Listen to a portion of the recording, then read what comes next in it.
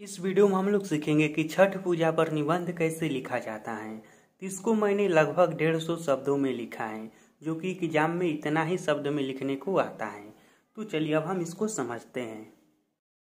छठ पूजा बिहार और उत्तर प्रदेश के सबसे महत्वपूर्ण त्योहारों में से एक है। यह एक ऐसा पर्व है, जो वर्ष में दो बार मनाया जाता है। यह पुरुष या महिला किसी के भी द्वारा किया जा सकता है।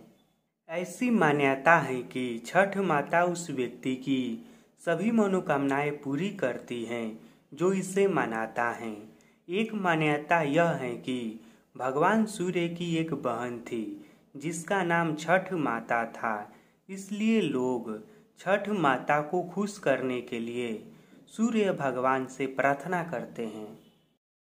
लोग अपनी इच्छाओं को पूरा करने के लिए इस व्रत को करते हैं। इस व्रत के बहुत सारा कठिन नियम हैं। जो लोग इसे करते हैं, उन्हें इस नियमों का पालन करना पड़ता है। इस त्यौहार में साफ़ सफ़ाई और पवित्रता का विशेष ध्यान दिया जाता है।